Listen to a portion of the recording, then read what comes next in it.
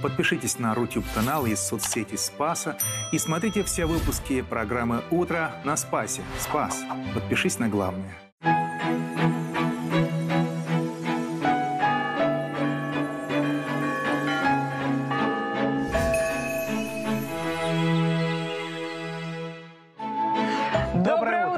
Сегодня 1 декабря, друзья, пятница, первый день зимы. Церковь молитвенная чтит память мученика Платона Анкирского. В эфире программа «Утро на Спасе» с Богом в новый день.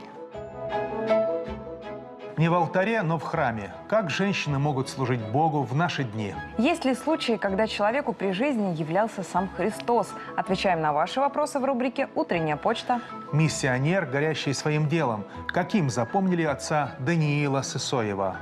Нести звание христианина с гордостью. Почему главное не скрывать своей веры? Обо всем этом поговорим в начале нового дня. В эфире программа «Утро на Спасе».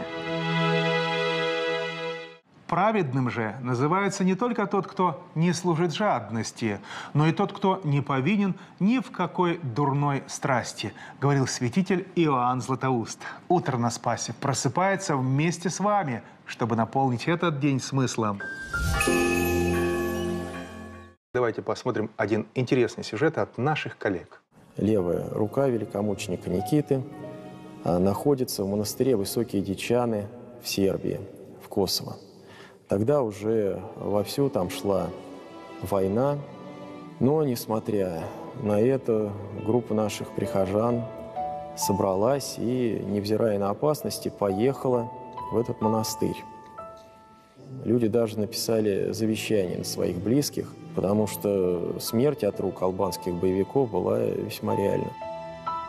На пограничном контроле российских паломников встретил полковник вооруженных сил Италии – Вместе со своими солдатами он отвез их на бронетранспортере и колесном танке прямо к стенам монастыря. Они, конечно, обнаружили самую такую ужасную картину, что монастырь огорожен забором с колючей проволокой, на котором написано «Кто залезет, того убьют». Вот албанские боевики обстреливали монастырь и итальянские блокпосты из винтовок. Монахам предлагали уйти, но они говорили, без нас вы охранять ничего не будете. Вот, ну, ваше командование э, просто вас уведет и все.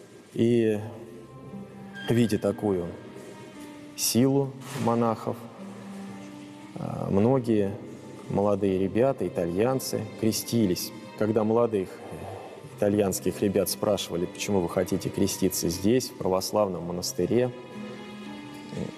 они отвечали, что именно здесь мы почувствовали силу и мощь христианской веры. При храме великомученика Никиты, где теперь доступна для поклонения левая рука его святых мощей, регулярно проходят военно-патриотические молодежные сборы. Ну, вообще тут очень много всяких мероприятий классных. Там мы научились там стрелять, тут разные тактические, э, в принципе, интересные занятия, которые, ну, все, мне кажется, хотели бы когда-либо этим заниматься. Вот, это очень классно. Скажите, а каким качеством должен, по-вашему, обладать православный воин? Ну, я думаю, это главная ответственность и любовь к родине, конечно же, патриотизм. Это то, чтобы э, человек, как бы, когда идет на войну, он должен понимать, зачем он это делает. То есть, э, что он защищает, там, как бы, семью. Это чаще всего, мне кажется, вот. Ну, я бы хотела вообще всю жизнь служить Родине. Там, если что-то случится, я всегда буду на готове.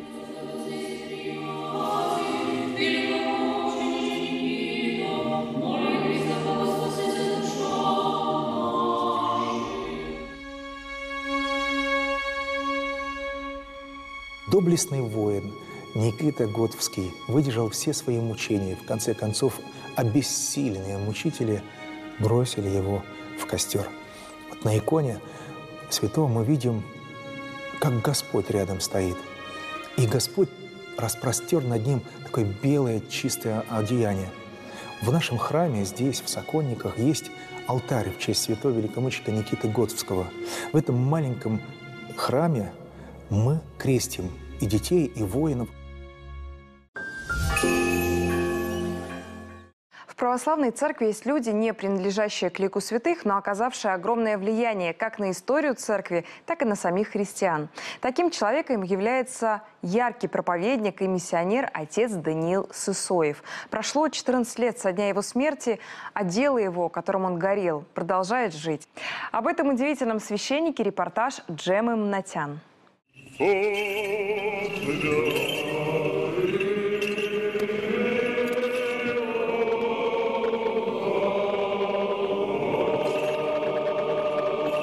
Самая лучшая смерть для христианина какая? Мученическая, конечно, да?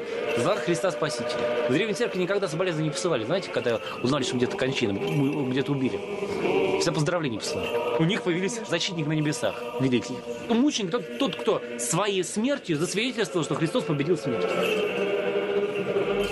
Как могло случиться, чтобы в обычном спальном районе Москвы был расстрелян священнослужитель Русской Православной Церкви? Задавая этот вопрос, нескончаемый поток людей идет проститься с отцом Даниилом Сысоевым. В ночь на 20 ноября 2009 года неизвестный ворвался в храм апостола Фомы на Кантемировской. Яростно выкрикивая с неразборчивым акцентом имя настоятеля, он ранил человека на входе. Отец Даниил тотчас вышел из алтаря навстречу своей смерти. Убийца скрылся, но уже известно, основной мотив преступления – религиозная вражда. В 2004 году здесь, еще на пустующей земле, стоял лишь крест и небольшая часовенка, возле которой отец Даниил Сысоев, выдающийся богослов 21 века, начал свое пасторское служение.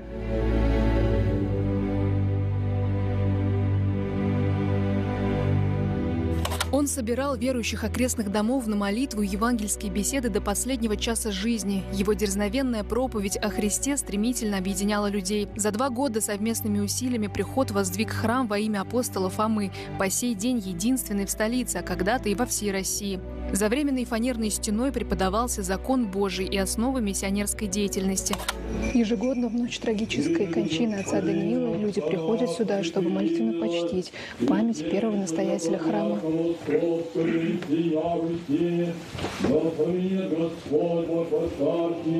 О преснопамятном рабе Божие, убиенном Ирии Данииле, покой тишины блаженней памяти Его, Господу помолимся.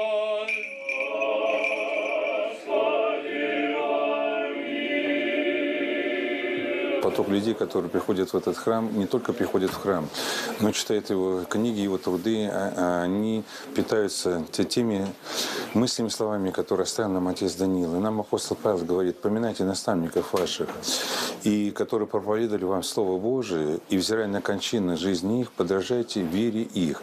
Вот спрашивается нам, людям в 23-м а, году и в 21 веке, что близко и что должно быть э, из его наследия.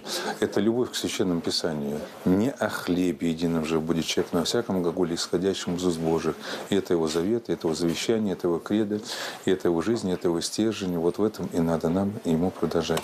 Цена свободы – вечная бдительность. Мы должны стоять на чеку, потому что враг атакует. И враг атакует нас через идеи. Самая лучшая уловка дьявола какая? Сделать христианство и причем не важно, что и. Понимаете? Христианство и политика, христианство и либеральные ценности, и патриотизм, и национализм, там, да, и что угодно, понимаете? Главное, ввести заповедь не Божий, сделать ее частью условий спасения, хотя Бог этого не давал. Ясно? А потом сделать эту часть самой важной а потом отбросить все остальное. Не так страшно внешнее насилие, как страшно насилие ложных мыслей. Ставшего уже известным христианским публицистом, отца Даниила призвали к миссионерской деятельности среди иноверных. Он успел посетить Македонию, Киргизию, Татарстан, участвовал в двух открытых диспутах с мусульманами. Отец Даниил не хотел спорить, он хотел, чтобы все восхищались вместе с ним красотой евангельского учения. Объяснял, что только христианство провозглашает родство людей не по крови или гражданству и не по языкам, как язычники, а родство в Духе Святом. Не допускал гордой национализации религии. Проповеди его, они, конечно, особенные совершенно. Они неровные. Они, может быть, даже и немножко, не то что наивные, но он очень торопился. И подчас было не очень понятно, что он говорит. И я немножко стеснялась. Я думаю, зачем он так вот? Зачем он как вот дитя? Да, я возмущалась, говорю, да не ну что ты так перед ним открываешься? Это прям вот такое ощущение, что вот, вот, вот душу открывает, тебя же бьют. Говорит, ну что, что поделаешь? Говорит, он в нем такая детскость невероятная всегда была. Новый Завет до сих пор новый. Новый Завет до сих пор э, нечто необычное, э, нечто завораживающее, нечто возмущающее, нечто восхищающее. Человек не может спокойно пройти мимо животворящих слов Христа. Поэтому мы должны говорить Слово Божие и вовремя, и не вовремя. Не подстраивайтесь под мир сей. Незачем, совершенно незачем. Не стоит прогибаться под инвейчью миру, как в песня, да? Пусть лучше он прогнется под нас. Он прогнется под нас. Он как-то ногу сломал. И надо было служить литургию. Так он прям со сломанной ногой служил. И потом мы созванивались, и я э, спросил, ну как со сломанной ногой, лучше служится? Он говорит, лучше. Я спрашиваю, а почему?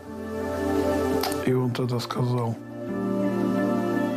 сказано же, носите чувствование Христова. Со сломанной ногой понимаешь, что такое распятие. А иначе, наверное, не могло быть. Иначе Бог бы не вселя... Он не вселился бы. В прагматика не вселяется Бог, да? Не вселяется Бог в администратора. Хотя в какой-то степени, конечно, задействует, без сомнений. А вселяется того, кто готов вот выйти на все ради Него. Ну, он так и сделал. Он и вышел на все ради Него. Ради Бога. Со времен диспутов и миссионерских поездок отцу Даниилу поступило 18 угроз физической расправы. Убийца, гражданин Киргизии Бексултан Карыбеков был ликвидирован в Махачкале. До сих пор достоверно неизвестно, какая группировка или идеология инициировала это преступление, но христианин не ищет справедливости на земле, зная единственное имя врага человеческого. Вот уже 14 лет прошло с тех пор, как батюшка от нас убежал на небо, но а, мы не чувствуем чувствуем да, конечно, мы сначала скучали, но мы все равно не чувствуем, что он нас покинул. Вот как-то обращаемся к нему молитвенно, и он отвечает, что интересно. И не только весь наш приход, но я думаю, что любой человек, который обратится в молитву к отцу Даниилу, точно получит ответ. По благословению священном начале, вот мы после смерти отца Даниила э, собрали, здесь вот была кровь, мы собрали платы такие, э, часть сюда вложили в икону новомучеников, исповедников церкви русской. Вот. И частица тоже, э, когда вот был выстрел в голову отца Даниила, там кусочек черепа, ну, как бы откололся, и тоже мы частичку сюда вложили, как, ну, почитаем, как такую нашу местную, местную святыню. Пока еще батюшка не прославлен, поэтому это такая наша местная святыня. И еще тоже большая святыня, это, конечно, епитрахиль отца Даниила, в которой он был. Пока общецерковного прославления не было, но э, в широком смысле святой – это человек, который в Царстве Божьем находится. Вообще все люди, которые в Царстве Божьем, они все святые, да, они имеют возможность э, молиться у престола Божия, да? молиться за каждого из нас. Поэтому, естественно, что и мы, те люди, которые его знали, и те, кто, может быть, уже пришел к церкви после его смерти или там благодаря его беседам, конечно, чувствуют какое-то э, заступничество. Вот мы ездим на могилу к отцу Данилу, мы понемножку собираем какие-то свидетельства помощи батюшке. Новомученики прославляются не тем, что их мучили, и не безгрешностью, но подвигом осознанной жизни Христе Христе. Отец Даниил Сысоев лично обратил в христианство сотни людей и стал примером для православных миссионеров.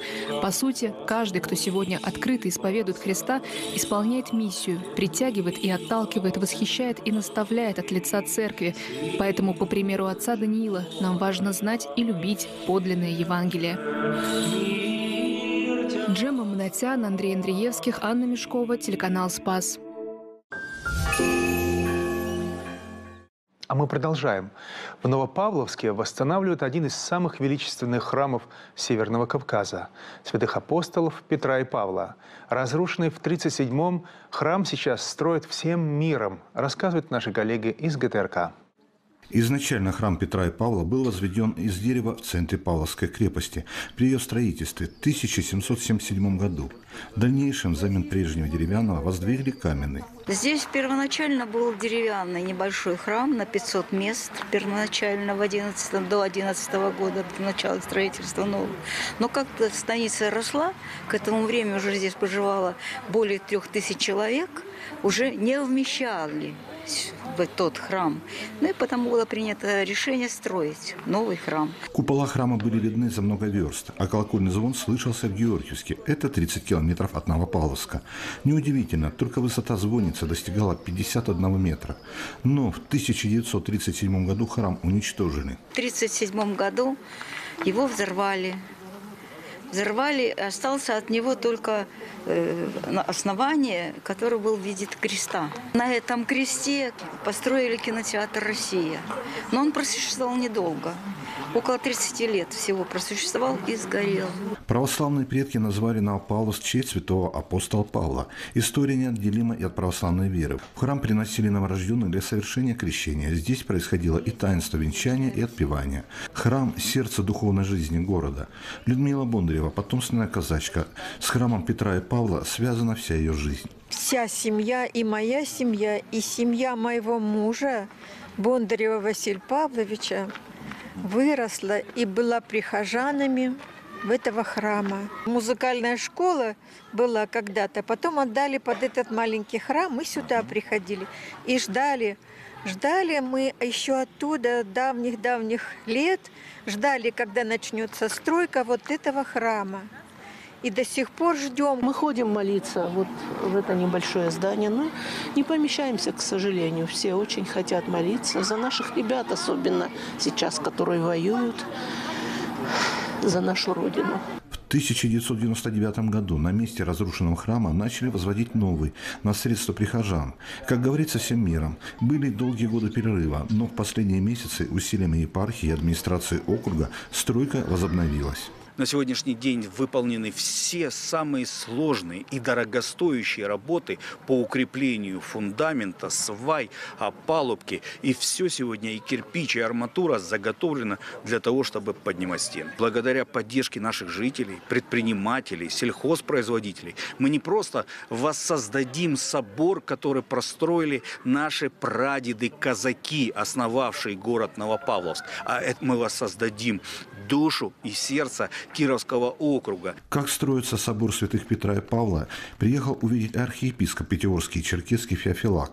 Владыка поблагодарил всех, кто участвует в восстановлении святыни, вручив архиерейские грамоты. Лихолетие храма этот снесли, как и многие-многие судьбы изменились. Но, но живой корень всегда дает новые побеги. Однако же живой корень дал и побег и этого замечательного храма. История его воссоздания достаточно долгая. И это станет не только восстановлением исторической справедливости, еще это станет образом обновляемого, молодого, красивого и э, удивительного города, замечательной истории, замеч... замечательным настоящим, и Бог даст великолепным будущим. Настоятель собора отец Александр и руководитель строительства Александр Балашов заверили, что еще до наступления холодов закончат возводить стены и до снежного сезона начнут строить крышу. Борис Останкович, Павел Коваленко, Вести, Ставропольский край.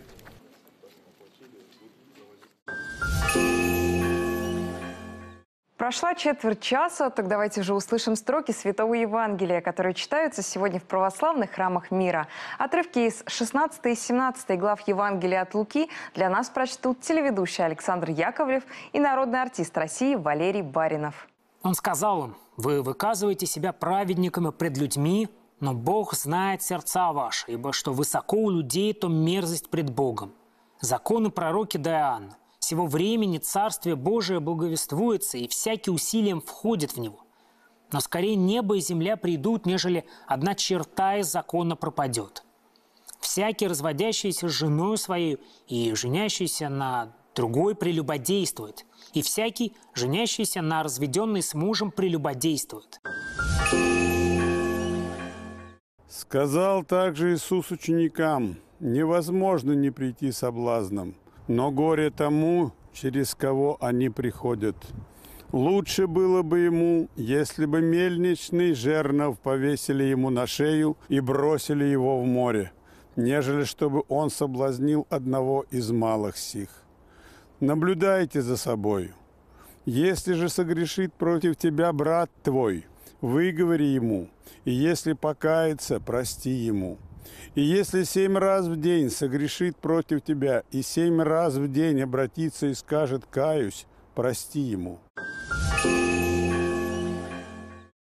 В очередной раз мы с вами свидетели того, как Христос обличает фарисеев. И как это часто бывает, это грозное обличение касается не только библейских персонажей. На свой адрес может любой из нас принять те упреки, которые сегодня звучат. Вы, говорит Господь фарисеям, выказываете себя праведниками перед людьми, но Бог знает сердца ваши. Итак, одно дело внешний вид и твои благочестивые глазки, а другое дело твои поступки и даже твои мысли. И больше того, бывает так, что люди одобряют, люди прям радуются и хвалят тебя, но сердце-то ведь порочное. И вот это видит Бог. То, что высоко у людей, то иногда мерзость перед Богом. Вот что дальше говорит Господь. Царство Божие благовествуется, и всякий человек, прилагающий усилия, получает его. Или как вот это звучит на церковно-славянском, Царство Божие нудится, то есть вот прям силой уберется. Это значит не просто так. Духовная жизнь – это духовный подвиг, это духовные труды. Мало даже теоретически все изучить, мало. Нужно именно приложить усилия, свою собственную волю, чтобы, например, выдержать пост, чтобы, например, пойти в храм и выстоять всю службу, чтобы, например, сломать свою гордыню, как-то вот туда ее смириться и сказать честно, да, Господи, грешен, да, Господи, не могу, нужна Твоя помощь, и без Тебя не могу ничего. Но и еще одно поучение сегодня звучит. Если брат твой согрешил перед тобой, прости его. О, как легко это сказать. Да, я всех прощаю. Но как трудно сделать хотя бы один раз в отношении конкретно одного человека. А Господь говорит, даже если он много раз согрешит против тебя и семь раз в день обратится к тебе, скажет, прости, я каюсь, ты прости ему. Не гордись, а прости ему. Потому что как мы научимся прощать и прощаем, так же и Бог наш на небесах простит нас. Как это сказано в молитве? И остави нам долги наши, яко же и мы оставляем должникам нашим.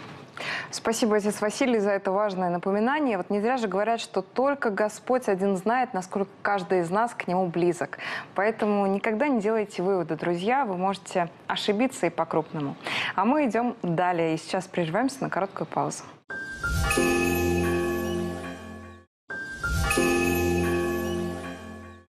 А вот что произошло в этот день в истории церкви России и мира. В 1825 году умер российский император Александр I. Согласно официальным данным, Александр Романов скоропостижно скончался в Таганроге. Но вскоре появилась легенда, что он распространил ложное сообщение о своей смерти, а на самом деле жил в Сибири отшельником под именем Федора Кузьмича. 1879 году на императора Александра II совершили неудачное покушение. 1 декабря в 11 часу вечера на третьей версте Московско-Курской железной дороги боевая группа народовольцев во главе с Софьей Перовской подорвала заранее заложенную в подкоп динамитную мину. Но террористы просчитались. Они пытались уничтожить второй из официальных царских поездов, а император тем временем благополучно проехал первым поездом. В 1896 году родился Георгий Константинович Жуков, советский полководец и государственный деятель, маршал Советского Союза, четырежды Герой Советского Союза. В послевоенные годы Жукова в народе называли маршал Победы. В зарубежной историографии некоторые специалисты называют его одним из наиболее выдающихся полководцев Второй мировой войны. В 1919 году в Киеве перестал действовать Священный Синод Юга России – с уходом деникинцев из Киева митрополит Антоний Храповицкий был вынужден оставить свой кафедральный город, занятый большевиками. Большевики, заигрывая с националистами, постановили передать Софийский собор председателю церковной рады. Все храмы, отобранные белыми частями у автокефалистов, были им возвращены. Однако раскольники не встретили поддержки ни у одного епископа.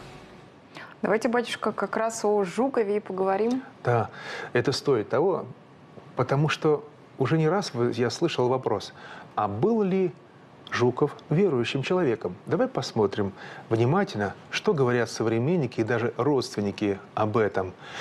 Как Суворов, великий наш генералиссимус, так и Георгий Жуков, оба понимали, что вот у Бога в руках победа, что никаких человеческих усилий иногда не хватит, и только Господь Бог дарует победу или поражение. Известный факт, что Жуков тайно возил за собой икону, Казанскую икону Божией Матери. Об этом свидетельствуют современники, что каждый раз, перед каждым боем он говорил своим офицерам «с Богом». Это о чем-то говорит.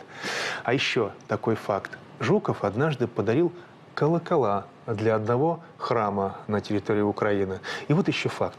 После окончания Великой Отечественной войны Георгий Жуков а, возглавил русскую военную администрацию в Германии. И вот по его приказу восстановили храм в Лейпциге. Храм этот уже старинный, очень важный. Это свидетельство славы русского воинства, построен в 1913 году. Но во время обстрела он пострадал, и Жуков приказал восстановить этот русский храм. Свято-Алексеевский храм, друзья, это памятник русской военной славы. И вот что пишет дочь Жукова, Мария Георгиевна. Он верил, по ее утверждению, что существует связь между небом и землей, между живыми и усопшими. Причем такая неразрывная связь. Вот что он однажды своей дочери сказал. «Я скоро, — говорит Жуков, — умру, но с того света буду наблюдать за тобой, и в трудную минуту приду». Ну и, наконец, воспоминания нашего духовника Троицы Сергия Лавры, архимандрита Кирилла Павлова. Что, вот что пишет батюшка, а батюшка войну прошел. Душа его христианская. Печать избранничества Божия на нем чувствуется во всей его жизни. Прежде всего, он был крещен в церкви. Он закончил воскресную школу при храме, где закон Божий преподавался. Он посещал службы в храме Христа Спасителя и наслаждался великолепным пением церковного хора – он получил воспитание в детстве от своих верующих родителей. Все это не могло не оставить вслед в его душе. И это видно по плодам его жизни и по поведению. Его порядочность, его человечность, его общительность, трезвость в рассуждениях, чистота жизни возвысили его, и промысел Божий избрал его быть спасителем России в тяжелую годину испытаний. Спасибо, отец Василий, а мы идем далее.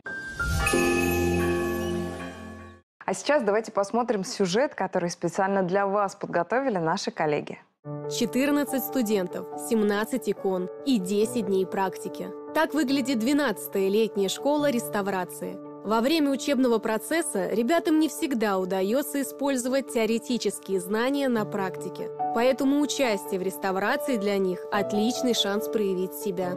Самым сложным здесь пока что было а, так убрать э, поверхностные загрязнения, чтобы при этом случайно не стереть краску, потому что она тут довольно плохо лежит и легко э, уходит вместе с загрязнениями. Вот. Особенно на плечах.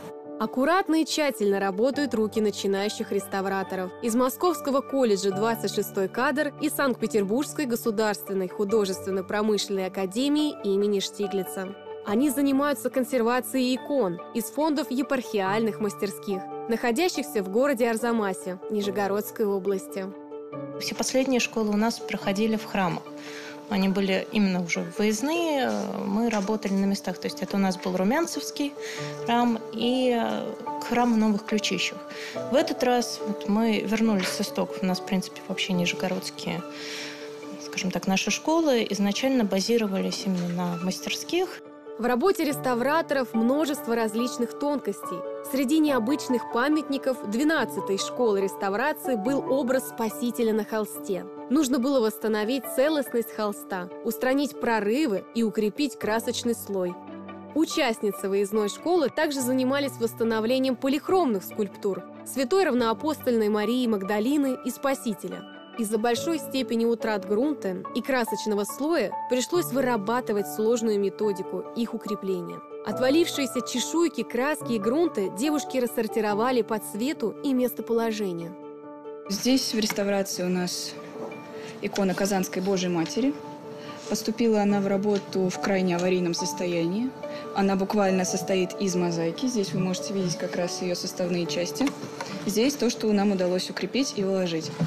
На данный момент первая степенная задача – это укрепление чтобы она просто не рассыпалась дальше. В данной иконе грунт гипсовый, и, соответственно, от любого более сильного увлажнения, чем того требуется, он начинает размываться. А из-за многочисленных записей красочный слой очень-очень твердый. Соответственно, чтобы у нас мог пластифицироваться красочный слой, приходилось очень долго и равномерно его увлажнять, при этом не размывая грунт. С участниками выездной школы реставраторов встретился митрополит Нижегородский Арзамасский Георгий. Студентам вручили сертификаты об участии в реставрационных работах и благодарственные письма. Выездная школа реставрации по темперной живописи в Нижегородской области – это научно-образовательный проект, реализуемый Общероссийской общественной организацией Союзов реставраторов России совместно с Нижегородской епархией. По пятницам мы с вами говорим об утраченных святынях столицы память о которых сохраняется до сих пор. Сегодня Яна Истомина расскажет нам об удивительной святыне Замоскворечья, храме великомученика Никиты в Старых Толмачах. В 1926 году, в канун десятилетия Октябрьской революции, на Большой Ордынке состоялась закладка здания в стиле конструктивизма, ставшего первой автоматической телефонной станцией. Узел связи обслуживался всего четырьмя специалистами и отправил в прошлое многочисленных барышень-телефонисток. Сейчас здесь располагаются офисы крупного оператора связи. Но какое отношение это здание имеет к разрушению разрушенным храмом Замоскворечья. Железо, бетон и стекло. Если переводить этот стиль конструктивизма на современный язык, то это своего рода лофт 20-х годов. А вот пристройку, возведенную уже в 90-х, можно назвать путеводителем по утраченным храмам Замоскворечья. Примыкающее к КТС здание с трех сторон украшено мозаичными медальонами с изображениями 12 снесенных в советское время церквей Замоскворечья Москворечья, по четыре с каждой стороны. Благодаря их автору, заслуженному художнику-монументалисту Михаилу Дубцову, мы узнаем об утраченных архитектурных шедеврах. Храм великомученика Никиты в Старых Толмачах – один из них. На углу Новокузнецкой улицы и Старого Толмачевского переулка, где сейчас вот это конструктивистское здание, до 1935 года возвышалась величественная церковь великомученика Никиты, что в Старых Толмачах или Татарской Слободе. Это было совершенно необыкновенное творение знаменитого московского зодчего Михаила Быковского. Постройки 1863 года. И по размерам этот храм немногим чем уступал храму Христа Спасителя. В Замоскворечье испокон веков селился торговый люд, создавая свои ремесленные слободы.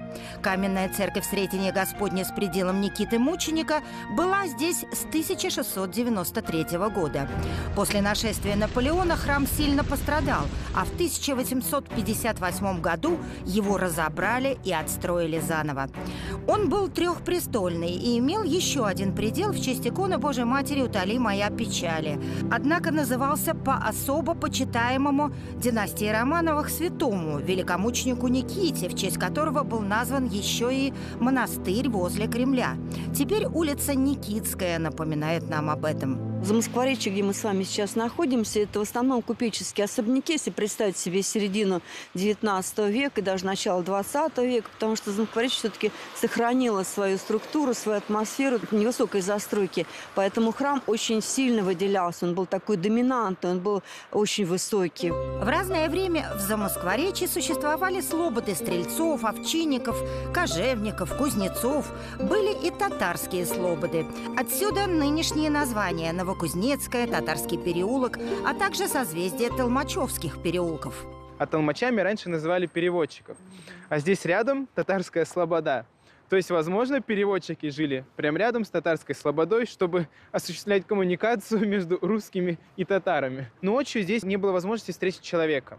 То есть, если ты гуляешь ночью по Замоскворечью, все дома закрыты, потому что у купцов своя усадьба, свой приусадебный участок. То есть, жизнь идет на участке, а не на улице. И ночью Замоскворечье становилось абсолютно пустым районом. Почему именно такой большой был построен храм? Ведь каждая слобода строила свой маленький храм. Кто были прихожане? Ну, прихожане были, э, во-первых, купцы, надо сказать, что Замоскворечье у нас действительно известно как такой богатый купеческий район. И а, здесь еще рядышком находилась татарская слобода, у которых была мечеть. Я думаю, что как-то вот, чтобы построить так а, в противоречии, может быть, очень красивый храм для... Соразмерные мечети, да? Соразмерные мечети, да. Я думаю, что как раз вот, может быть, пригласили Быковского, да, или, допустим, того же Каминского, который был в то время тоже очень авторитетным архитектором, чтобы создать такую доминанту для э, тех, кто проживал здесь. До сих пор непонятно, кто же на самом деле был автором проекта этого архитектурного шедевра. Исследователи называют Степанова, Каминского и, конечно, Быковского. Сочетание высокого готического купола сродни уникальному своду собора Санта-Мария-дель-Фьоро во Флоренции и древнерусских элементов строения приводит научное сообщество в замешательство. Но если смотреть на другие постройки Быковского, то есть такие сходства. Допустим, колокольня Страстного монастыря очень похожа на колокольню, которая была у этого храма. И чем-то напоминает по архитектуре Ивановский монастырь. Потому что Быковский, он любил делать отсылки к такой западной архитектуре. У него многие храмы выглядят очень по-европейски. А если в них заходишь, если ты зайдешь, например, в Ивановский монастырь, ты ощущаешь себя там не как в старинных московских храмах, а скорее как в храмах Петербурга. То есть таких огромных, роскошных. Поэтому, скорее всего, это был а, Быковский. Даже у нас во время съемок завязалась дискуссия по поводу авторства. Пятиглавие, килевидная форма наличников над окнами, сдвоенные колонки – все эти характерные черты древнерусского зодчества сбивают с толку. Он не свойствен был для архитектора Быковского. Дело в том, что Быковский увлекался а, итальянской архитектурой. Здесь совершенно э, другой храм, не свойственный вот его стилю. Дело в том, что этот храм был построен в русском стиле, а, очень богатый. И этот храм был не похож ни на один храм в Москве. Он был действительно великолепен. И стиль очень сложно определить. Возможно, это русско-византийский. Возможно, это эклектика, переплетение стилей. Возможно, неоготика. До сих пор не понять, но Быковский был гениальным архитектором, поэтому его задумку ну, узнать очень сложно. И вот этот вот купол, он скорее э, византийский, да, получается? Скорее вот византийский. Высокий. Причем вот именно как раз-таки византийский, но с отсылками к какой-то готике. И вот у Быковского это часто проявляется в архитектуре многих храмов. Они как бы стремятся ввысь по своей архитектуре. Вот такие готические настроения вверх. И это очень красивое сооружение. А жалко, что многие из его храмов были утрачены. В 1935 году храм Никиты Мученика в Старых Толмачах снесли в связи с глобальной перестройкой Замоскворечья. Новую атеистическую власть не устраивала обилие церквей в этом районе. На месте святыни построили жилой дом для работников милиции, который ни в те времена, ни сейчас никак не украшает это место. Яна Истомина, Дмитрий Борисов, Владимир Роченков, Борис Сафронов, телеканал «Спас».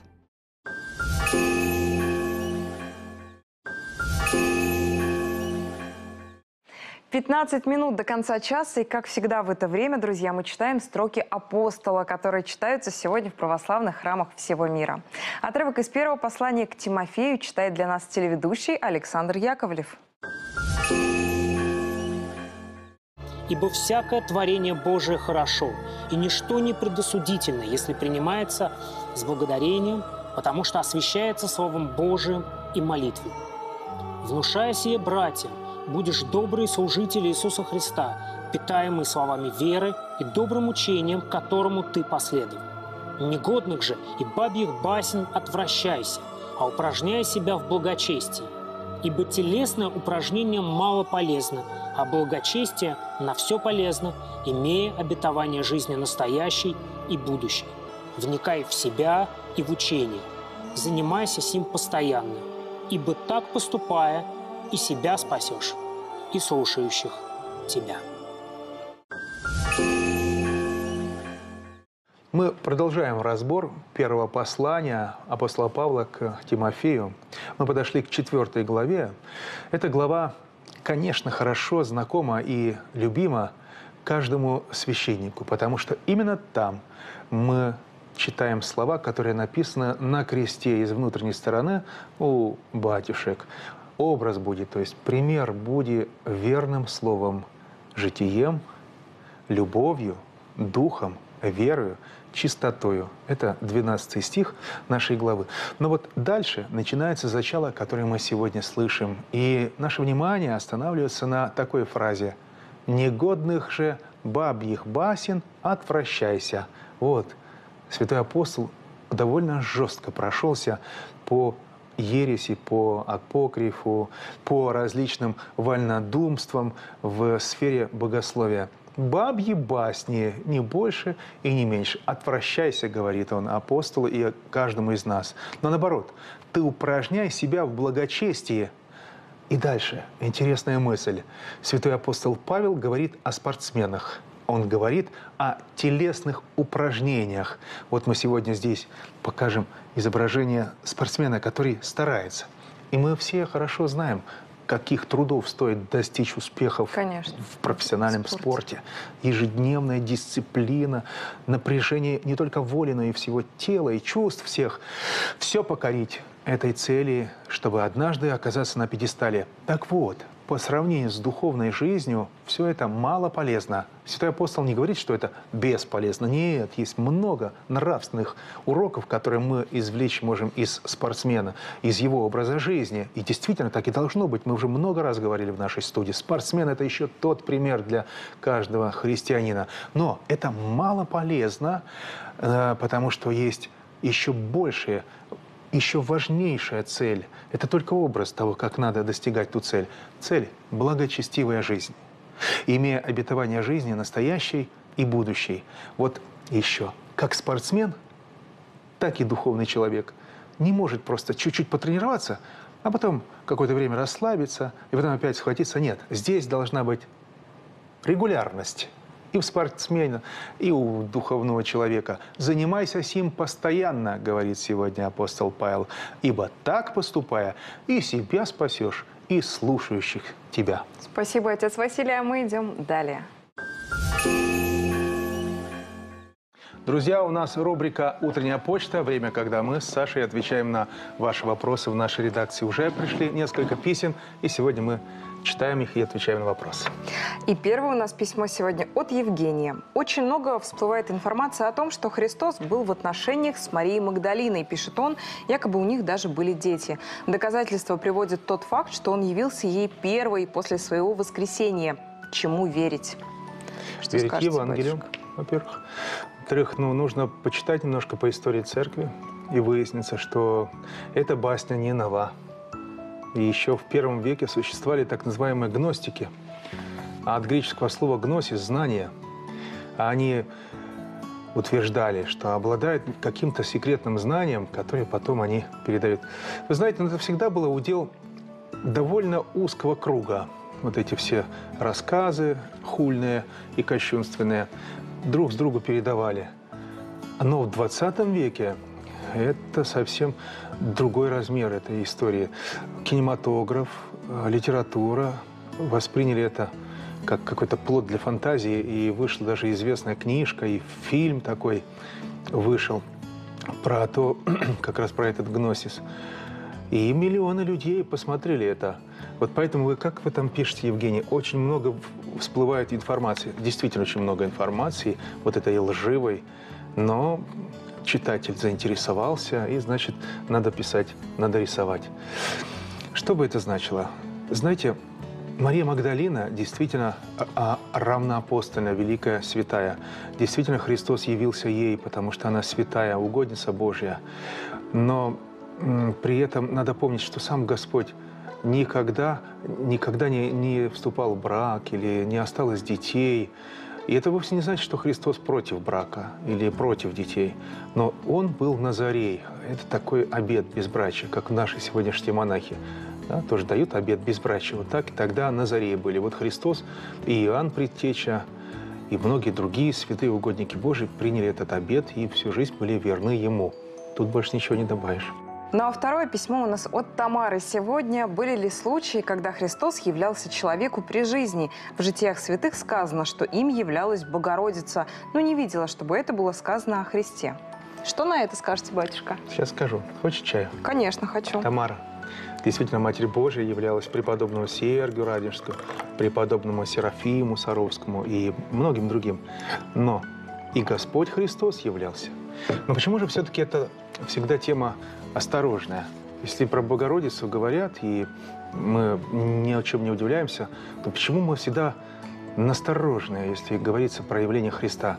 Ну, потому что именно в виде ангела света, в виде Христа часто является бес. Для того является, чтобы обольстить человека. Но все-таки это не исключает вот этих случаев. Мы знаем в житиях святых, как старцам являлись разные святые, даже Господь Христос. И каждый раз, когда Христос является, это такой урок.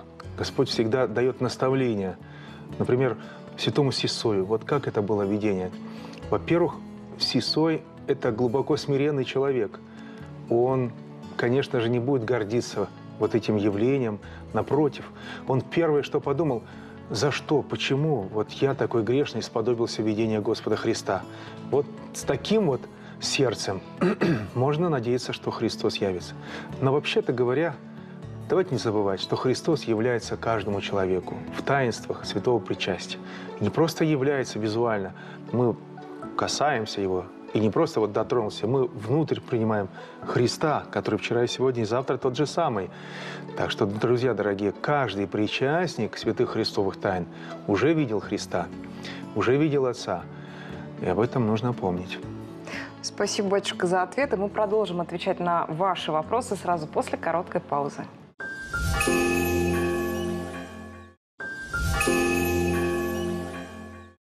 А мы продолжаем отвечать на ваши вопросы. И следующее письмо у нас от Ивана. Сын уходит в армию, пишет он, хочу дать ему свой крест. Можно ли так делать? Батюшка, расскажите, вот у каждого христианина при крещении и так дается крестик. Угу. Нужен ли человеку второй крестик для большего второй не нужен. оберега и защиты Второй Господа? не нужен. Нет, нет, это неправильно. И оберег тоже неправильно. У крещения уже дали крестик, и вот его носим. Причем сам крест – это символ – символ того креста, который Господь Христос дал нам всем. Потом, ну, бывает в жизни так, что потерял крестик, так мы сразу нательный крестик другой одеваем. Конечно. Да, или там он поломался, его надо отдать в храм, там, или беречь в себя там на полочке. У нас мама тоже сложила уже несколько крестиков там у нас на полочке. Но это все так. Э, жизнь. Жизнь всякая бывает. Но есть одно правило. Из дома не выходишь без крестика даже в садик, там, в школу не выходишь, тем более на поле брани, когда он идет ну, там, оружие брать в руки, там, обязательно нужно, ведь это же символ победы, символ победы над своим страхом, победы над врагом, символ победы над смертью, Христос воскресе, поэтому должен быть крест. А вот свой это или не свой, это уже вообще не важно. Чей на нем крест? На нем крест Христов.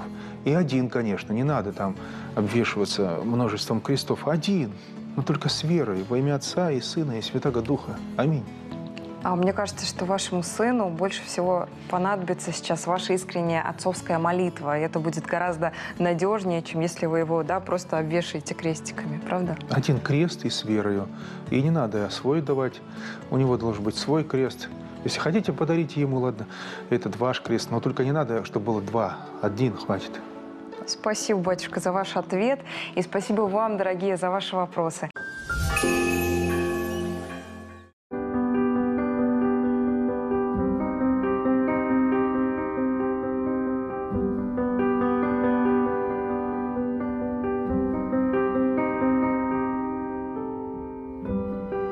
Сейчас идет раскрытие от э, поздних записей, загрязнений. Каждый слой записи – это некая историческая грань общества, менталитета, каких-то отчасти даже вкусовых предвзятых мнений. Мы это фиксируем, мы это стараемся сохранить. Но, конечно, э, для нас очень важно раскрыть э, все же живопись, какой ее пытался сделать э, автор. Александр Громотюк – один из самых знаменитых реставраторов нашего времени. Больше десяти лет жизни он посвятил спасению и сохранению уникального памятника древнерусского искусства начала XII века – Боголюбской иконы Божьей Матери. Икону Боголюбскую я, конечно, впервые увидел в рабочей обстановке. Но вообще такое впечатление, что отношения выстраивались довольно-таки авторитарные. То есть, по сути дела, что икона требовала, то мы и выполняли, и отчасти, и по большей части я выполнял. Я не знал, что с этой иконой придется просто жить несколько лет. Александр Гарматюк считает, что именно благодаря этому погружению смог увидеть удивительную взаимосвязь времен. Ведь работа по восстановлению боголюбского образа началась более века назад. Еще в 1918 году было установлено, что икона находится в плачевном состоянии. Сто лет спасения – беспрецедентный случай в истории мирового искусства. Чем же этот лик столь важен – это первая написанная на Руси икона, первая русская икона, и она как бы благословляла всю историю, можно сказать, русского народа. Появление Боголюбской иконы связано с событиями начала XII века. Тогда князь Андрей Боголюбский задумал основать новую столицу на северо-востоке Руси. Эта земля должна была стать местом, над которым простирает свой покров Божья Матерь. Боголюбово – это особое место. Можно сказать, что это как бы особое дело Божьей Матери. У нас все храмы посвящены Богородице. Князь Андрей построил храм в честь Рождества Пресвятой Богородицы. Затем был выстроен здесь Благовещенский храм. На Колоконе у нас храм Успения Божьей Матери. Идею покровительства Божьей Матери над Русью он реализовал в архитектурном пространстве города. Оттуда идет особое почитание и отношение к Богородице как особой защитнице и русских людей, и русской земли.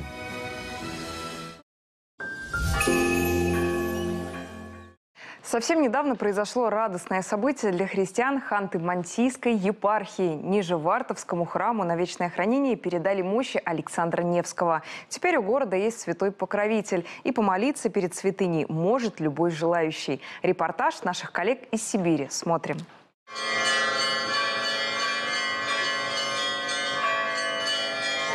Святыню, которой более 750 лет доставили в Нижневартовск. Событие очень значимое для православных не только Нижневартовска, а всей Югры.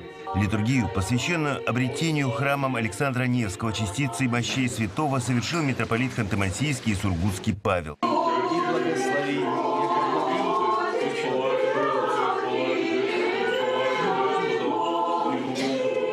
Небольшой храм не смог вместить всех желающих присутствовать на литургии. Для тех, кому не хватило места, организовали прямую трансляцию события в часовне на церковном подворье. Впрочем, теперь приложиться к святыне можно в любое время, в часы работы храма. Это действительно великая милость Божия. Господь так устроил, что и храм построился, и сам благоверный князь пришел сегодня своими мощами здесь, на это святое место. Нижневартовский храм Александра Невского последним получил частицу благоверного князя. После передачи в Югру Ковчега раку с мощами святого опечатал патриарх Кирилл. И без святейшего уже никто туда не может руку приложить и получить эти мощи. А вот так Господь устроил, что мы успели до этого момента их э, обрести. Святой князь Александр Невский считается покровителем воинства. В православии его в первую очередь почитают как защитника веры. К нему обращаются при нападениях врагов, гонениях, в том числе за веру, при начале любого важного дела, об укреплении или обретении веры в Бога, а также в любых житейских неурядицах, скорбях, болезнях. Михаил Светошев, Сергей Зайкин, телерадиокомпания «Югра», Нижневартовск. Святитель Иоанн Златоуст говорил, «Подавая сидящему на земле, ты подаешь сидящему на небе. Каждое утро можно начинать с доброго дела. Многих людей пугает слово «хоспис», особенно детский. Санкт-Петербургский хоспис для детей и взрослых вот уже почти 20 лет доказывает, что такой взгляд неправильный. Благодаря помощи специалистов и самоотверженности всех родителей, ребята в нем становятся совершеннолетними и переходят во взрослую систему. Однако пациенты и их родные часто боятся этого перехода. Поэтому в конце 2022 года благотворительный фонд «Бумажная птица», созданный по инициативе Санкт-Петербургской епархии, открыл хоспис для молодых взрослых. Взросление, обретение независимости, поиск и принятие себя. Проживая все это, Подросток нуждается в безопасной и бережной к нему среде. Ему необходимы круг общения по возрасту, специально обученные психологи и педагоги, возможность не отрываться резко от родительской опеки. В новом хосписе ребята после 18 лет могут оставаться в среде сверстников, заниматься творчеством, развиваться, получать образование – но главное – это возможность жить насыщенно, несмотря на тяжелые заболевания. Чтобы помочь детскому и взрослому хоспису «Бумажная птица», отправьте сообщение на номер 3434 со словом «Журавлик» и укажите любую сумму пожертвования. Например, «Журавлик», пробел 100. Защитница земель русских, как донская икона Божьей Матери, неоднократно спасала нашу страну. Расскажем в следующем сюжете. Мы с вами находимся на территории мужского ставропигиального Донского монастыря, посвященного чтимому образу Божией Матери, именуемому Донской.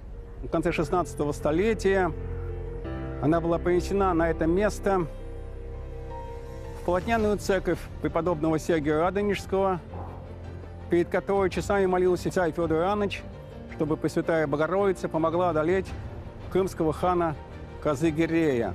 Здесь стоял стан русских войск, в нем находилась икона, и благодаря этой иконе была одержана победа.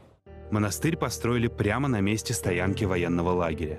После победы икону вернули в Кремль, а для Донского монастыря написали список, который с тех пор не покидал обитель. Сейчас мы направляемся к Малому собору, во имя иконы Божьей Матери Донская. Это первое каменное здание на территории Донского монастыря. И он такой вот весь белый, легкий, воздушный, стоит на этом месте уже из малого 400 с лишним лет. Сюда была перенесена чтимая икона Божьей Матери Донская – за свои 700 лет истории Донская икона получила статус непобедимой воеводы. Через этот образ Богоматери молились во время нашествия крымских татар в 17 веке. С обращения к ней начались победоносные крымские походы под командованием Голицына. Прославилась Донская и при взятии Азова и Нарвы. Невероятное место. Невозможно в полной мере как-то оценить или передать те чувства, которые я ощущаю, находясь здесь. Мурашки по телу идут. Насколько здесь вот пропитано все историей, духом сверхъестественности, вот такой вот благодати. Не верится до сих пор. Я иду по этой святой земле, попал сюда, чтобы преклонить колени перед ликом Богородицы Донской, заступницы Донского казачества и святыни нашего Дона. Батюшка, благословите. Бог благословит. Особое почитание казаками Донской иконы сохранилось на протяжении столетий. В 2015 году оно ознаменовалось важным событием. Впервые из древней иконы Донской был изготовлен точный список для Ростова-на-Дону. Евгений оказался первым, кто принял лик на кубанской земле. Это было как раз после чудесного сна с Богородицей по невероятной милости Божией меня просят встретить эту икону. Я первый э, казак на Дону, который встретил на Донской земле, взял в руки икону с поезда на Дону и Донской Божьей Матери. Совпадение? Может быть, может и нет. Пришел поезд, везли эту икону в поезде в отдельном вагоне. Мне было страшно, потому что шел дождь, икона большая, и я боялся, чтобы у меня руки мокрые, чтобы мне не соскользнуло и не уронить икону. И единственное, на тот момент ну, вроде думал, вот надо как-то вот с радостью Бога вдохновенно. А единственное, о чем я молился, Господи, хотя бы не уронить, Господи, хотя бы не уронить. После молебна в Ростове-на-Дону на Соборной площади перед Кафедральным собором Рождества Пресвятой Богородицы к иконе подошло поклониться почти 7 тысяч человек. А жизнь Евгения с тех пор кардинально изменилась. Он не только ушел с прежней работы, но и отучился в семинарии, после чего был рукоположен в диаконы. Все вместе это помогло переоценить свой путь.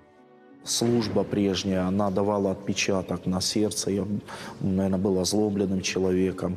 И мои родственники знали меня таким вот, э, как-то относились к определенной опаской ко мне, может быть. Вот это явление, как толчок, оно полностью изменило мою жизнь. Дело в том, что мои родственники, которые меня давно не видели, заявили, что «Женя, ты изменился полностью, ты прям стал другим человеком». И вот сегодня Сейчас я попаду в это замечательное место. Спасибо тебе, Пресвятая Богородица. Слава тебе, Господи. Ну, будем надеяться, все у нас получится. Аминь.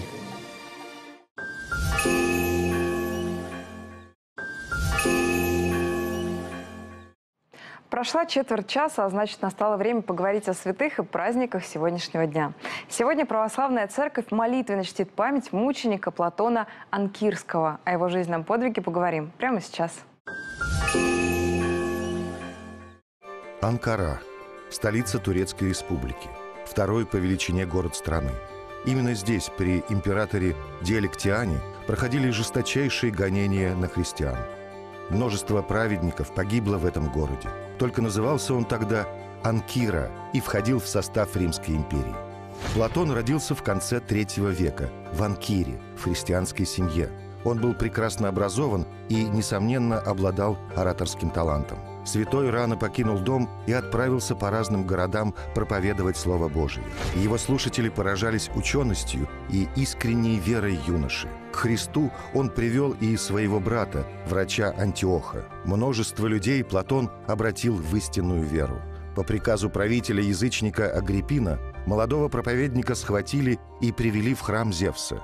Агриппин оценил талант святого и попытался склонить его на свою сторону – принести жертву идолам. Он обещал Платону деньги, почет и даже дочь в жены. Святой оставался непреклонен. Мученика повели в темницу. На это пришло посмотреть множество людей. В их числе были и новообращенные. Платон обратился к ним со словами утешения. Он убеждал их, что все земные страдания временны, а грядущая награда неизмеримо выше – Семь дней святой молился Господу с просьбой дать ему силы вынести все мучения. Его снова привели к правителю. Агриппин от лести и обещаний перешел к истязаниям. Для начала он показал орудия пыток – сапоги с гвоздями, раскаленные ядра, острые прутья. Это не сломило Платона. Святого мучили много часов подряд, после бросили в темницу, где он провел 18 суток без пищи и воды – Агриппин предложил Платону хотя бы сказать, что бог Зевс велик, но святой отказался согрешить даже словом. Тогда мученика Платона Анкирского обезглавили. Это произошло около 306 года.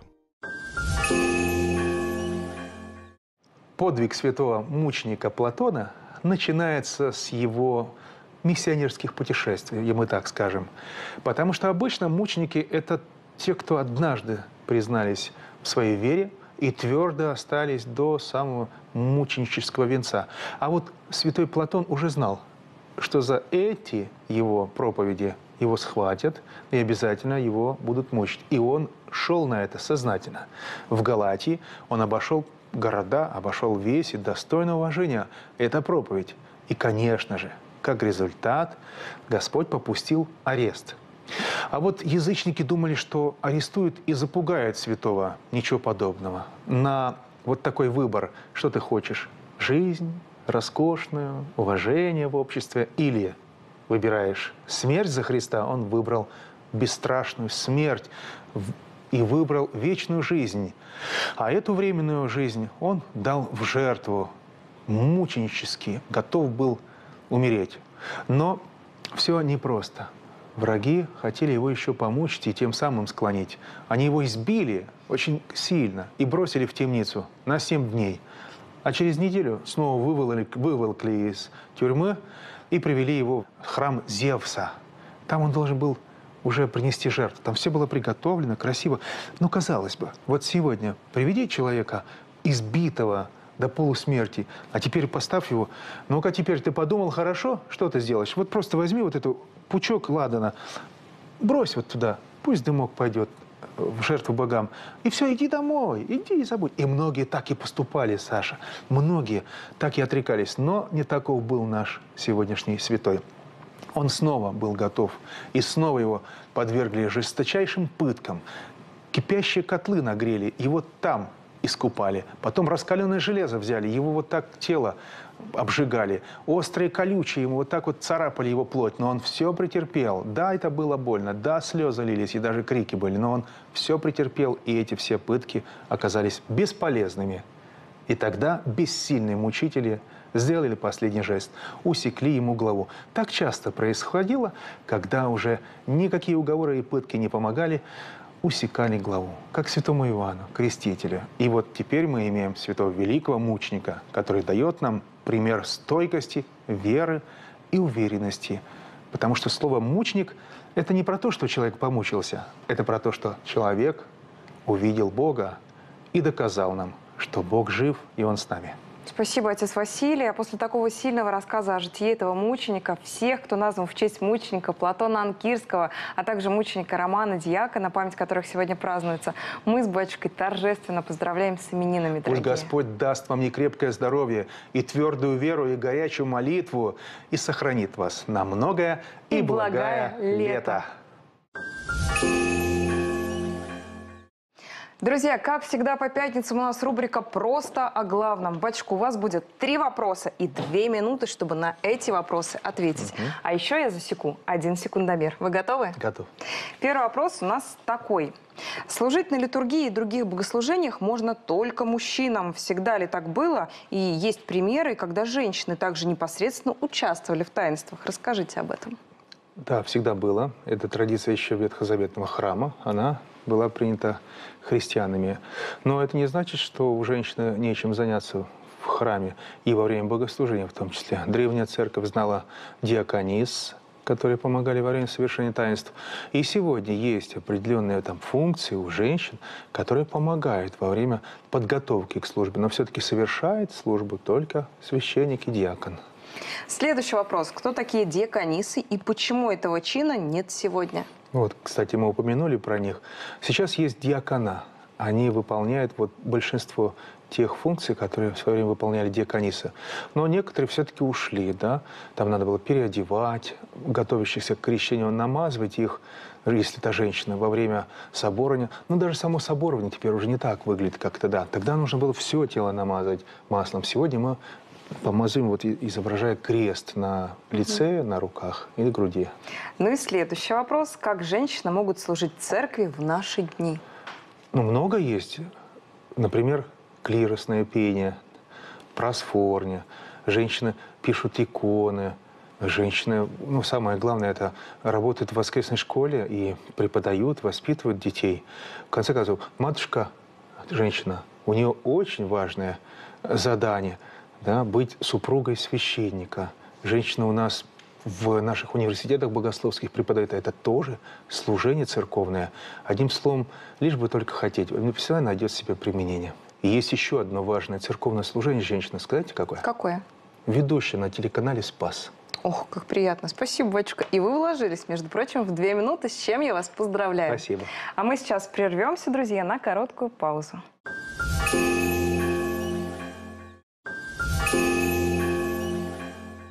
Теперь, друзья, давайте посмотрим один интересный сюжет от наших коллег. А если э, такие основные заповеди, как «не убей», «не укради», «не блуди» я соблюдаю, а лень, э, злость, они присутствуют каждый день, и что же тогда в них каждый раз каяться, исповедоваться. Если мы под покаянием подразумеваем э, сказать это на исповеди, то здесь нужно действовать следующим образом. Конечно, должен пройти какой-то период времени, э, который мы бы прожили ну, какой-то борьбе вот с этими грехами, вот, которые вы а, упомянули. Это очень важно. А, на исповеди, конечно, нужно про это говорить, хотя люди говорят, что это вот превращается в какой-то формализм, но здесь немножко по-другому к этому нужно подходить. А, действительно, мы это говорим на исповеди, но мы ведь говорим это не священнику, а Богу. То есть как мы перед Богом раскрываем э, язвы своей души.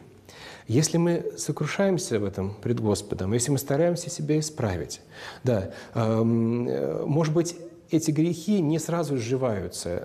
Чтобы их изжить, на это уходят годы и годы. Но все-таки, когда мы исповедуем их, очень часто та реальность, которая стоит за словами, она может отличаться от года к году. Потому что я, может быть, из года в год повторяю э, грех, да. что я раздражаюсь, но на самом деле это уже не то раздражение, которое было у меня несколько лет назад. Хотя вроде слово одно и то же. Угу. Поэтому э, смысл здесь есть. А потом нужно понимать, что э, есть такой род грехов, который связан просто с, с общим таким человеческим несовершенством. Вот. И здесь очень важно как бы не перегнуть палку. Мы иногда, в общем-то, эм, каемся в вещах, которые исправить э, не в силах. Например, очень часто человек кается. Я э, невнимателен на молитве. Но вообще внимательная молитва – это дар божественной благодати. Мы вот из себя это состояние никак родить, никак выдавить не можем. Поэтому каяться в этом беспол... ну, бесполезно и бессмысленно.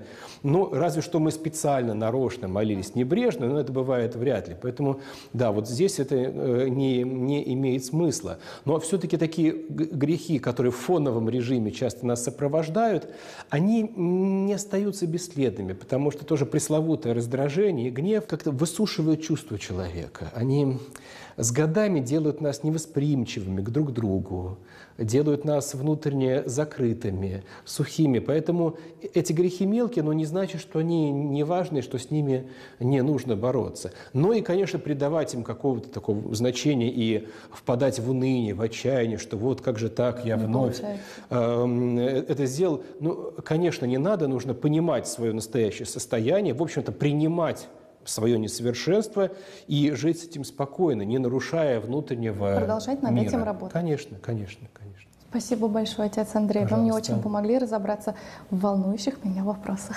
Спасибо. Спасибо большое.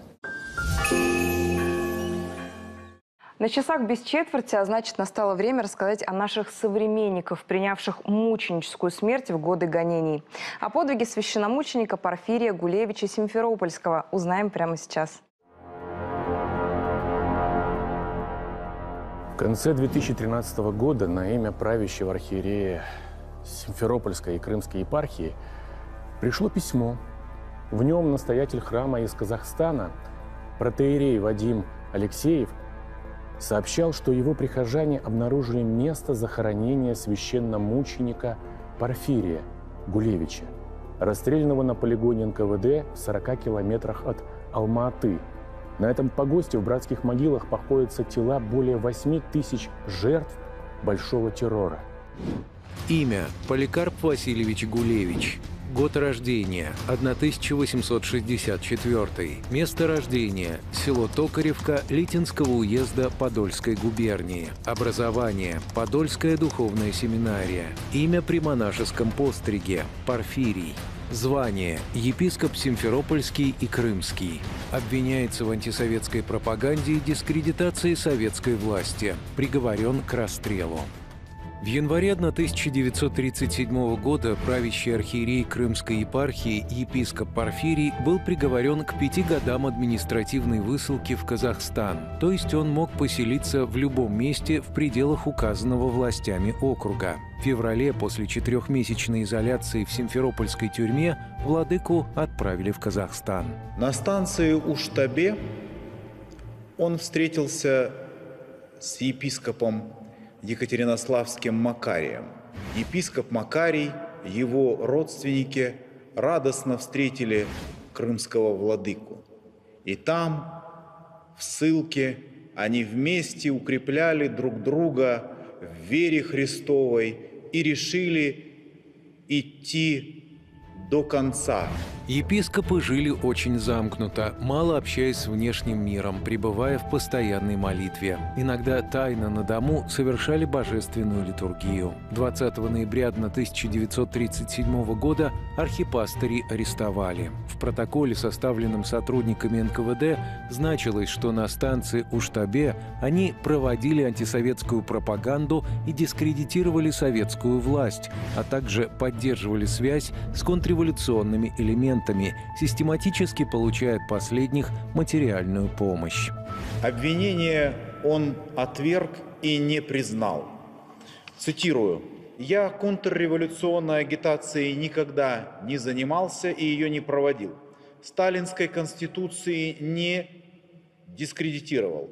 Антисоветского элемента вокруг себя не группировал имел связи с Симферопольской, Ялтинской, Керченской общинами, от которых получал помощь. По день высылки в Казахстан являлся служителем культа. Владыка сознался в совершении религиозных обрядов, но не признал их незаконными, как того требовали власти. К тому моменту он уже успел послужить в Днепропетровске, Одессе и Симферополе. 1 декабря 1937 года постановлением «Тройки» УНКВД по Алматинской области епископ Порфирий Гулевич, епископ Макарий Кармазин, его племянница Раиса Ржевская были приговорены к расстрелу. 1 декабря 1937 года приговор был приведен в исполнение на полигоне Жаналык Алма-Атинской области. Шансы выжить у епископа были невелики. Он открыто презирал советскую власть. Сохранились выдержки из проповеди владыки Порфирия. С ревностью и бесстрашием, обращаясь к народу, он говорил Советская власть притесняет религию, арестовывает духовенство, доходя до беззакония. Однако все это к лучшему и временно. В сентябре 1931 года на кафедру Крымскую был назначен епископ Порфирий Гулевич что не было обойдено вниманием местной обновленческой иерархии. В это время в Симферополе служил обновленческий митрополит Иерофей Померанцев. И именно он с церковной кафедры заявил, что приложит максимум усилий, чтобы арестовать Порфирия Гулевича. Епископ Порфирий на угрозы внимания не обращал. Он уже знал, что такое тюрьма, допросы и унижения. Первый раз его посадили в 1927 году. Тогда еще и романах он не прекратил поминать на службах сильных архиереев. Невозможно отказаться от сосланных епископов. Это все равно, что отказаться от самих себя, писал он в письме к некоему игумену Игнатию. Эти слова и послужили формальным поводом к аресту. Через полгода после ареста, в июне 1928 года, Порфирия Гулевича рукополагают в сан епископа с наречением его криворожским архиереем. Именно к этому времени относятся воспоминания о внешнем виде иерарха. Это был высокий человек с седыми волосами, с длинной седой бородой, волосы его не спадали на плечи, нос был крупный, с горбинкой, губы тонкие, что свидетельство о его силе воли, решительности – Голос был густой, исходящий как бы из глубины сердечной. Староста одного из храмов Симферополя Николай Тайнов писал доносы. Один из них сохранился. Епископ Гулевич является активным церковным реакционером, стремящимся всяческими путями укрепить церковь тихоновской ориентации и защитить православную церковь от дальнейшего разгрома. Обновленческое духовенство Гулевич называет не иначе, как антихристами, продавшимися властям. Ни доносы, ни аресты владыку не сломили. Канонизировали его в августе 2000 года. Святый священномучениче Порфирию, пристоя у престола царя славы, моли Христа Бога Отечеству нашему, в православии утвердитесь и не спаслайте нам велию милость так звучит кандак владыки, а его сила веры, бесстрашие и твердость в отстаивании Божьей правды согревает сердце каждого, кто обращается к нему с молитвой.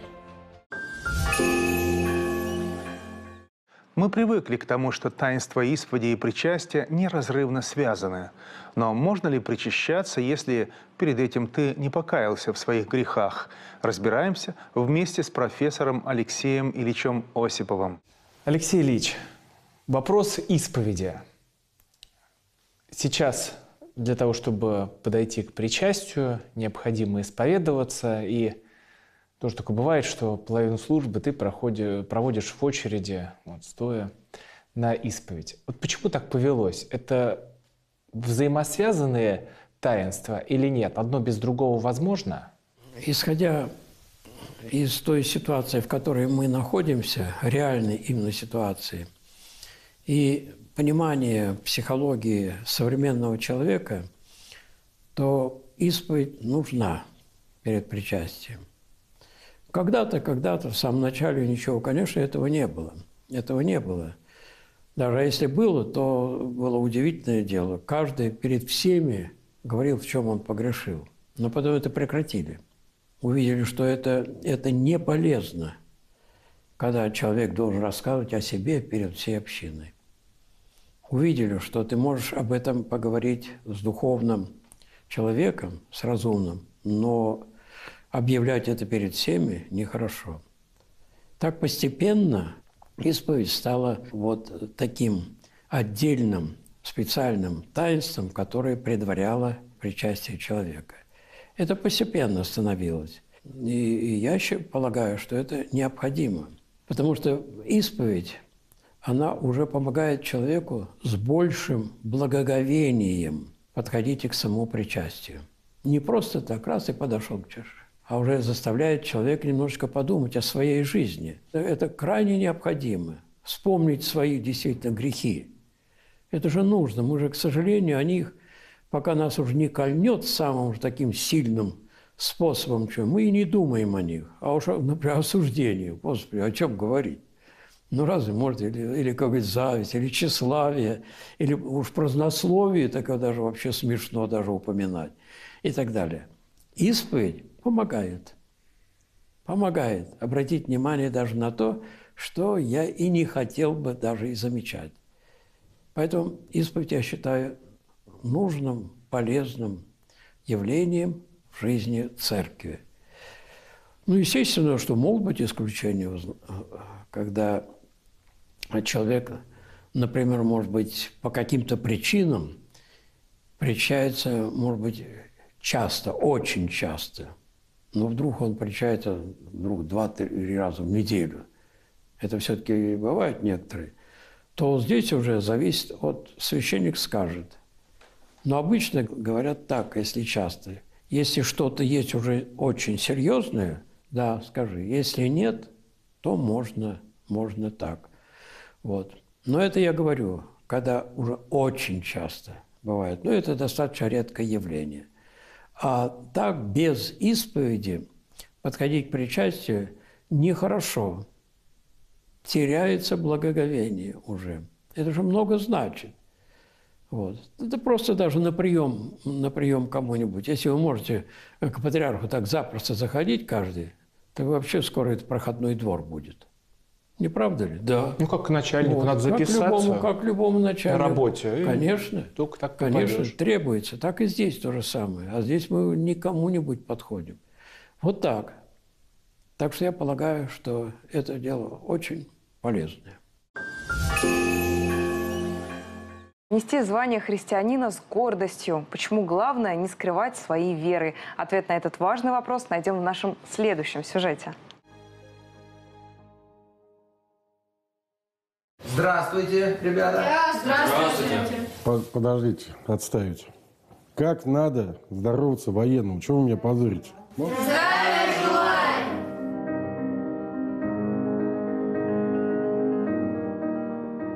Внимание.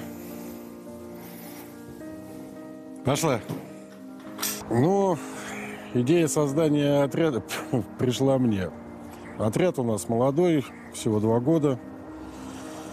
А, начинали мы еще в старом здании, ютились в трапезной.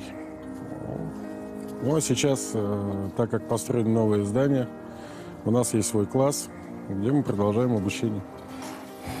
Боец, идешь на разборку автомата закончил? Есть зачет. Яхерев. Здесь. Готовится. Пошел.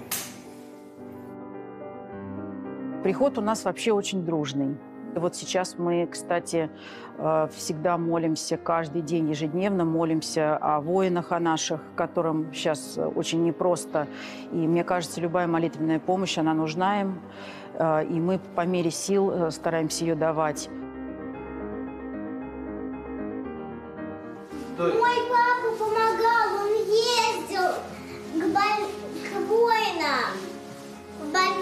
больницу, к раненым. большой машине поехали. Мы солдатам э, писали письма, э, письма и их отправляли к больным, э, раненым солдатам. А вот еще кто-то ездил тоже, да? И помогал. Ну, расскажи нам тоже. А, Он ездил, он передавал письма, рисунки, которые многие де- дети делали, а, и, и за них молился. Лид Вехерев э, сборку окончит. Молодец.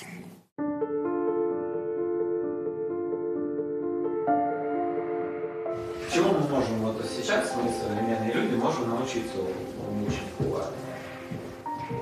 А, Что если мы будем бояться, ну, того, что все будут знать, что мы христиане, а, вот, и когда будут нас обижать, то мы будем, и бои- ну, мы не избежим этого после смерти.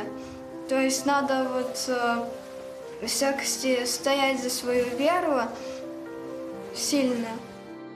Э, Люди просто приходят и спрашивают, как нам молиться. Молитва как раз и воссоединяет, насколько это возможно, в том числе и во Христе, э, людей, которые разлучены смертью.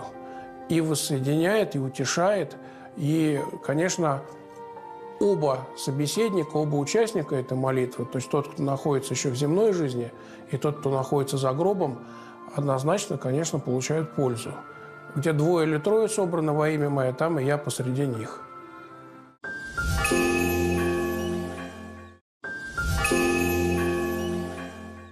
Теперь, друзья, давайте посмотрим один интересный сюжет от наших коллег. Господи Иисус Христе, Сыне Божий, помилуй меня грешен. Господи Иисус Христе, Сыне Божий, помилуй меня грешен. Господи Иисус Христе, Сыне Божий, помилуй меня грешен. Матушка Сепфора, в миру Дарья Николаевна Шнякина, родилась в 1896 году в Тамбовской губернии, в крестьянской семье. И с детских лет всем прочим занятиям предпочитала общение с монахинями. И вот эти монахини э, ее научили читать Иисусову молитву, научили рукоделию и э, посвятили азы православной веры. Она вот с детства хотела быть монахиней, и так получилось, что в раннем возрасте, в 45 лет, умер ее отец.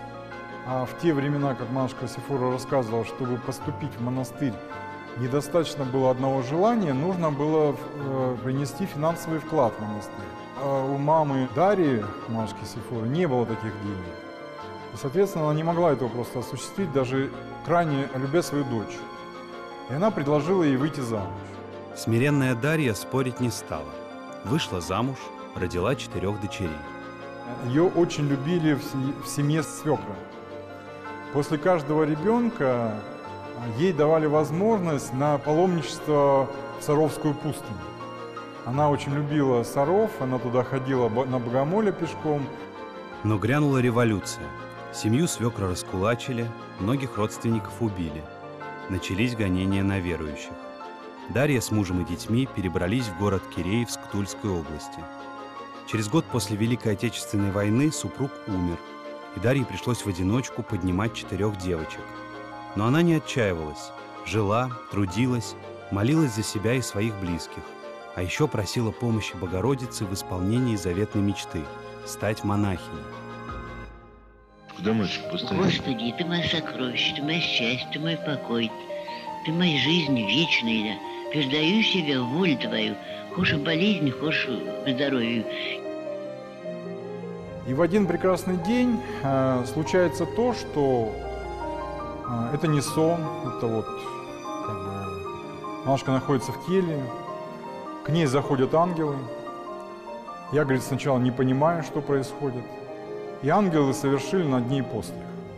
Одели ее полностью все. И она говорит, я после этого приехала в Троицкую Лавру, рассказала там отцам, и они решили совершить над ней уже монашеский постриг э, с именем Досифея.